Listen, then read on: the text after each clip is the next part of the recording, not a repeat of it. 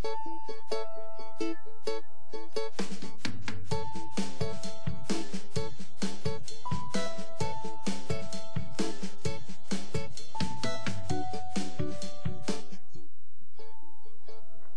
Viewer আপনি কি আমাদের অ্যামাজিং অর্থ সেভেন এইট সিক্স চ্যানেলটিকে সাবস্ক্রাইব করেছেন?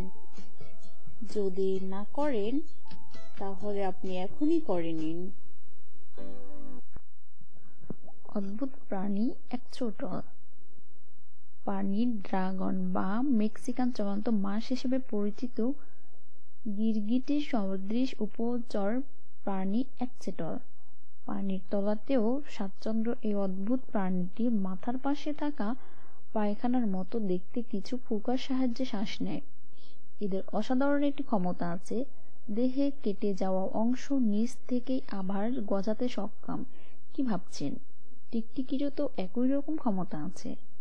হ্যাঁ তাই আছে, কিন্তু তা শুধু লেজের আর একচোটকের দেহের যে কোনো অংশই পুনরায় গজাতে সক্ষম। এমনকি স্পাইনাল কর্ড পর্যন্ত যা অন্য কোনো প্রাণীর ক্ষেত্রে অসম্ভব একটা বিষয়। সাদা কালো সোনালি হরেক প্রজাতির একশোটাল আছে। অধিকাংশ একশোটালে রয়েছে গ্রিন ফ্লোরোসেন্ট প্রোটিন। যার জন্য অন্ধকারে এদের শরীর থেকে সবুজ আভা বের হয়। এ সময় প্রাণীটিকে দেখতে অসম্ভব রকমের সুন্দর লাগলেও অতিরিক্ত সময় ধরে অন্ধকারে থাকাটা একচোটকের জন্য ক্ষতিকর। সর্বোচ্চ আঠারো ইঞ্চি উচ্চতার মাছটি পনেরো বছরের বেশি সময় বাঁচে। সাধারণত এরা লম্বায় দশ থেকে এগারো ইঞ্চি হলেও পোষার ক্ষেত্রে সামনের দু পা সহ তিন ইঞ্চির একচোটল কেনাই ভালো। পোষা প্রাণী হিসেবে একশোটকের তুলনা নেই। দারুণ জনপ্রিয়। দুটো বয়স্ক একশোটকের জন্য নকল লতাপাতা, ঝোপ, বালু আর লুকানোর জায়গা সহ বিশ থেকে উনত্রিশটি গ্যালন অ্যাকোয়ারিয়ামই যথেষ্ট। বাচ্চা একটা একশোটকের জন্য দশ গ্যালনের একটি অ্যাকোয়ারিয়াম যথেষ্ট হলেও বয়স্ক একশোটকের জন্য সেটা একটু অস্বস্তিকর হয়ে পড়ে। ঠান্ডা কালো পানিতে অভ্যস্ত এই মাছকে খুব ঠান্ডা বা গরম কোনো পানিতে রাখা উচিত না। সেক্ষেত্রে অ্যাকোয়ামের উচ্চতা হতে হবে পঞ্চাশ থেকে আটষট্টি ডিগ্রি ফারেনহাইটের মাঝামাঝি।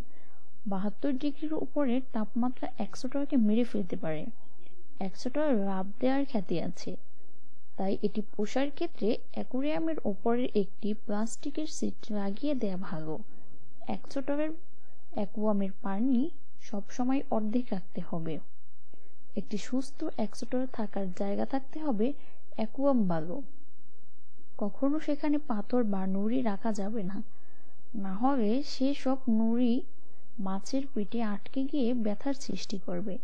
অ্যাকুয়ামে লুকানোর যথেষ্ট জায়গা যেমন কমলা রঙের ছোট ফুলের পট, পিভিসি পাইপ, সবুজ গাছ, নকল গুহা ইত্যাদি থাকতে হবে। এক্সট্রার পক্ষে উজ্জ্বল আলো ক্ষতিকর। এই জন্য কম আলোর পাশাপাশি নকল ঝোপ দিতে হবে অ্যাকুয়ামের। মাঝে মধ্যে অন্ধকার রাখলেও কখনো পাঁচ থেকে দশ মিনিটের বেশি রাখা যাবে না। একশোটকের সঙ্গে অন্য প্রজাতির কোনো মাছ রাখা ঠিক নয়। অ্যাকুয়ামে সবসময় এই বয়সের দুটি একচোটাও রাখতে হবে।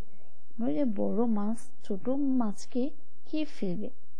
একচোটা পরিষ্কার শান্ত পানি পছন্দ করে। বাবল বা ঢেউ কোনোটাই এদের জন্য ভালো নয়। তাই ঢাকনাযুক্ত পাত্রই এদের জন্য বেশি সুবিধাজনক। পরিষ্কার পানির জন্য ওদের থাকার জায়গাও নিয়মিত পরিষ্কার করা উচিত। কেবল অ্যাকুয়ামে পানি ভর্তি করে রেখে দিলে এই প্রজাতির উপচার পোষা সম্ভব নয়। এদের খাবার ব্যাপারে সবসময় সতর্ক থাকতে হবে। ব্লাড অর্মের ছোট চিংড়ি মাছই একচোটকের জন্য উপযুক্ত খাবার। বয়স্ক মাছকে দুই থেকে তিন দিন পর খাবার দিলে ছোট একচোটকে প্রতিদিনই খাওয়াতে হবে।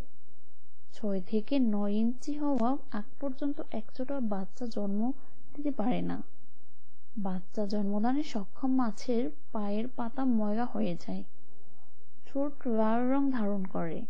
একবারে একটি মেয়ে একশোটল এক হাজার ডিম দেয়। পোষা প্রাণী হিসাবে একশোটল খুব বন্ধুপ্রবণ। তারা কাছের মানুষগুলোকে চিনতে ও তাদের খুব সহজে ভালোবাসতে পারে।